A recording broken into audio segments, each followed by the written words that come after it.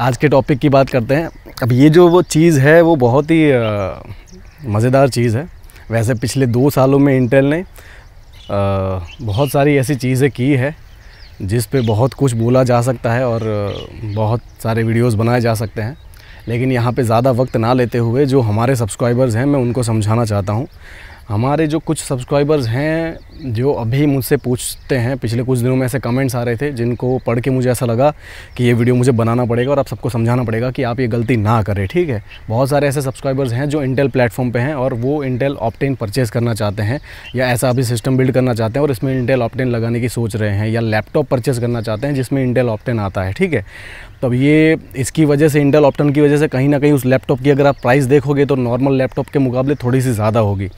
तो मैं ये वीडियो बना के आप सबको यही समझाना चाहता हूँ कि आप ये गलती ना करें। इंटेल ऑप्टेन एक बेटर ऑप्शन नहीं होगा। ठीक है, मैं ये नहीं कहूँगा कि बिल्कुल बकवास चीज़ है वो, लेकिन उससे भी बेटर ऑप्शन है एस एस डी यहाँ पे हर एक सिनारियों को ध्यान में रखते हुए मैं ये कह रहा हूँ और मैं आपको समझाना चाहता हूँ कि क्यों मैं ऐसा कह रहा हूँ। ठीक है, मैं इंटेल वालों के अगेंस्ट नहीं हूँ या इंटेल ऑप्टेन के अगेंस्ट नहीं हूँ। मैं भी यूज़ करता हूँ इंटेल के प्रोडक्ट्स और बहुत सारी चीज़ें, लेकिन कुछ चीज़ें ऐसी होती है जहाँ पे हमें थोड़ा सा डीपली सोचना पड़ता है कि ये क्यों हुआ और ये क्या है, ठीक है? तो देखिए इंटेल ऑप्टन डेफिनेटली इंटेल की टेक्नोलॉजी है तो ए यूज़र चाहे उसके पास अच्छे से अच्छा मदरबोर्ड भी हो उस पर एम डॉट टू स्लॉट भी अवेलेबल हो ए यूज़र इसको यूज़ नहीं कर सकता, ठीक है? तो ए यूज़र तो यहाँ से एलिमिनेट हो जाते हैं। अगर हम इंटेल की ही बात करें तो जो यूज़र्स हैं, जो ऑलरेडी इंटेल प्लेटफॉर्म पे थे, यानी कि फोर्थ जनरेशन या फिफ्थ जनरेशन या सिक्स जनरेशन पे भी थे, वो लोग भी इसे यूज़ नहीं कर सकते। अगर आपको पता हो, मैंने इंटेल ऑप्टिन पर एक वीडियो बनाया था, इस साल के बिगिनिंग में ही, ठीक है? उसमें मैंने ये चीज़ कही थी कि सेवन जनरेशन के साथ उन्होंने जब जी टू सेवेंटी लॉन्च किया तभी इसे लॉन्च किया था। तो सेवन जनरेशन या उससे बेटर अगली जनरेशन पे हो तो आप इसे यूज़ कर सकते हो। अब उस वीडियो को अगर आप ध्यान से देखोगे तो बहुत सारे लोग मुझसे पूछ रहे थे, इसलिए मैंने वो वीडियो बनाया था। बहुत सारी रिक्वेस्ट आ रही थी और इसके अकॉर्डिंग बहुत सारे ना ऐसे हाइप बना हुआ था कि इंटेल ऑप्टेन इंटेल ऑप्टेन कुछ नई टेक्नोलॉजी है, कुछ नया मेमरी है और बहुत कुछ ऐसा मिसकनसेप्शन था इसको लेके। और इसलिए मैंने वो वीडियो बना के क्लैरिफाई किया था और आपको समझाया था। लेकिन उस वीडियो में मैंने कहीं भी ये नहीं कहा था या किसी को भी ये रेकमेंड नहीं किया था कि आप इंटेल ऑप्टेन खरीदिए, ठीक है? एक चीज़ है जो मैं आपको समझाना चाहता हूँ कि ये जितनी भी कैशिंग टाइप की जो चीज़ है ना S H D caching RAM caching Intel Optane या एस आर टी या अभी अभी ए ने भी अपना एक ऐसा फीचर कह लीजिए टेक्नोलॉजी कह लीजिए रिलीज़ किया है स्टोर एम आई ठीक है? तो वो भी एस एच डी कैशिंग ही है बेसिकली जैसे इंटेल ने ऑप्टेन रिलीज़ किया, उन्होंने ये कर दिया, ठीक है? ये कंपनियाँ हैं, वो एक दूसरे के कॉम्पिटिशन में लगी होती है कुछ ना कुछ ऐसा करती रहती है। लेकिन आपको एज ए यूज़र समझ में आना चाहिए कि हमें क्या करना है, क्या नहीं करना है, ठीक है?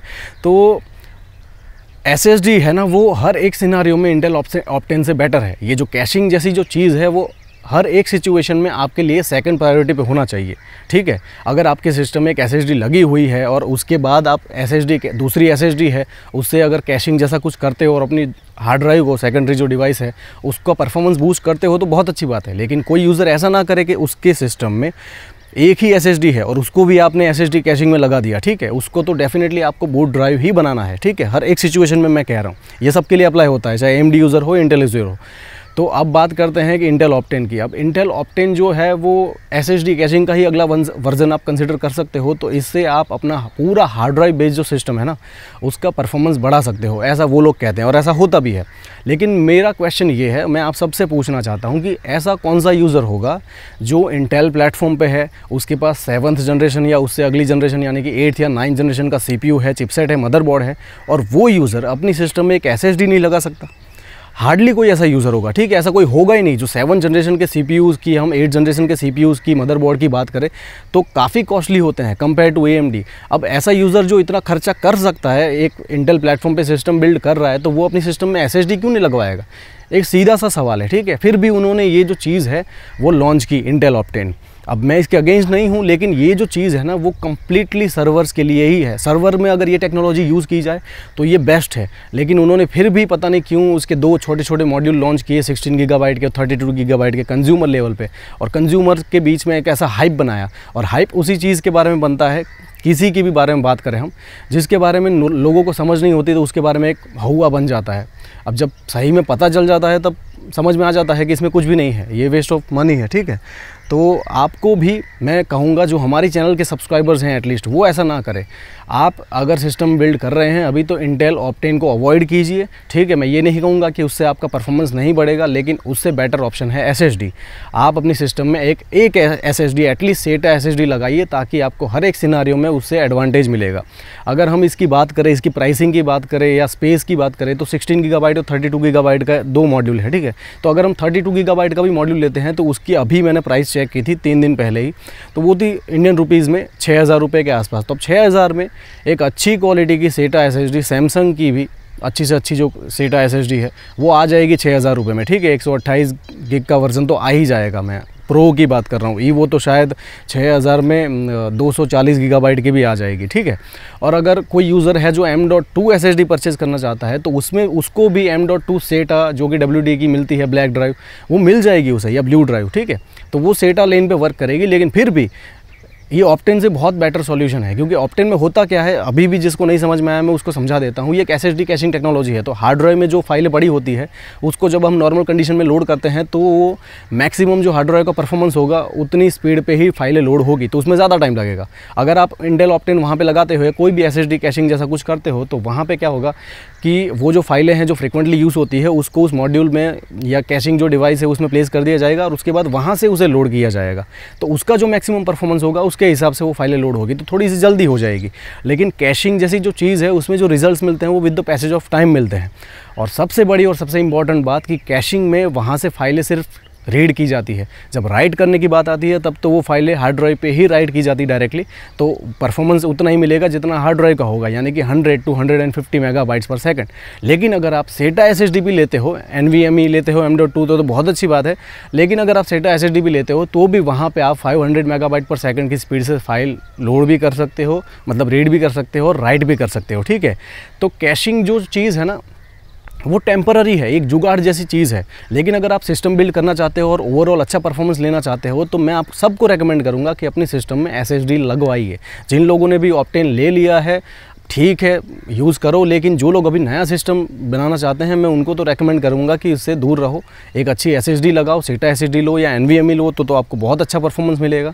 तो ओवरऑल जो सिस्टम का परफॉर्मेंस है बढ़ेगा और आपको नज़र भी आएगा। बहुत सारे लोग ये एस कैशिंग या ओपटेन ये सब लगाने के बाद मुझसे पूछते हैं कि सर परफॉर्मेंस दिखाई नहीं दे रहा है कुछ फ़र्क नहीं पड़ रहा है। ठीक है तो अब ये जो चीज़ें हैं जैसे मैंने कहा with the passage of time performance दिखाती है तो वो जो फ्रिक्वेंटली लोड होने वाली फाइलें हैं जो यूज़ कर रहे हो आप ऑपरेटिंग सिस्टम की फाइलें या जो भी फाइलें फ्रिक्वेंटली यूज़ होती है उसको जब इस मॉड्यूल में प्लेस कर दिया जाएगा, उसके बाद आपको परफॉर्मेंस दिखाई देगा और वो भी अगर आप नोट कर सकते हो तो ठीक है?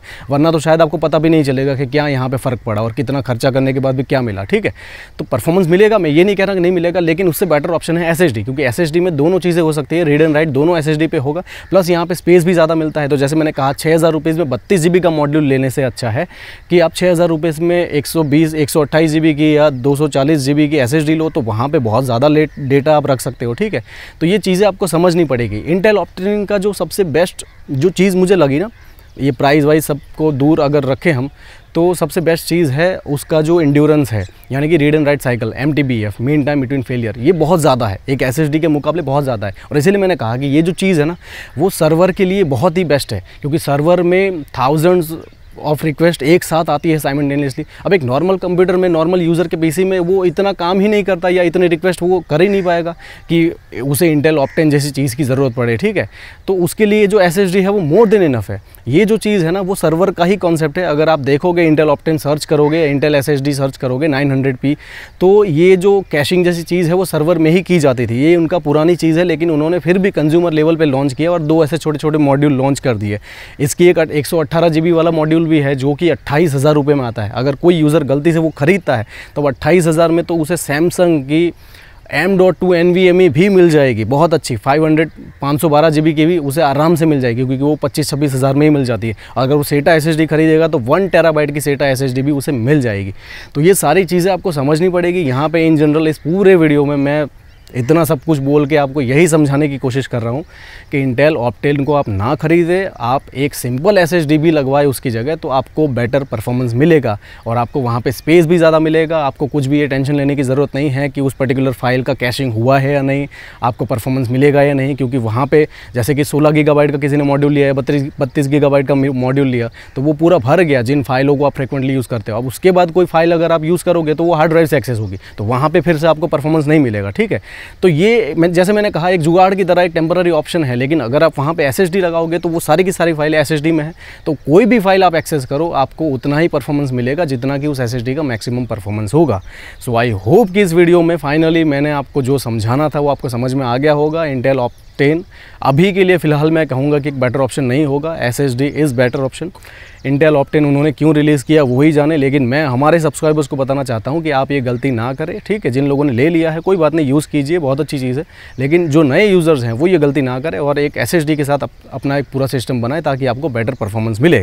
लेकिन फिर भी कुछ क्वेश्चन है कुछ इश्यू है तो पूछिए I definitely answer you thank you so much